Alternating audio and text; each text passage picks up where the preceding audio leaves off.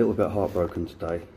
I was seeing a girl called Lorraine, but she caught me talking to a girl called Claire Lee. So I suppose I can see clearly now that Lorraine has gone.